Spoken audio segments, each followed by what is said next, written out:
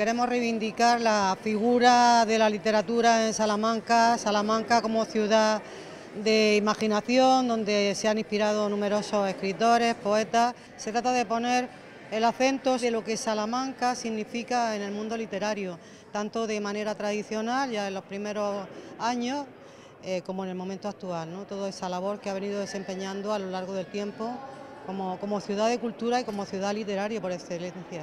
Salamanca está viviendo una época de, esplendor en el mundo literario y en el mundo de la poesía. Hemos tenido, por ejemplo, a Antonio Colinas, que yo creo que es pues, toda una figura en el mundo literario a nivel nacional, también a nivel internacional, pero ha, venido, eh, ha estado acompañado también de numerosas poetas salmantinas que tienen ya una gran trascendencia, no solamente en Salamanca, sino en otros niveles más superiores. Y destacaría además que han puesto de manifiesto que Salamanca es una ciudad idónea para crear, para hacer poesía, para hacer literatura. Eh, Salamanca proporciona ese ambiente necesario para, para producir buena literatura.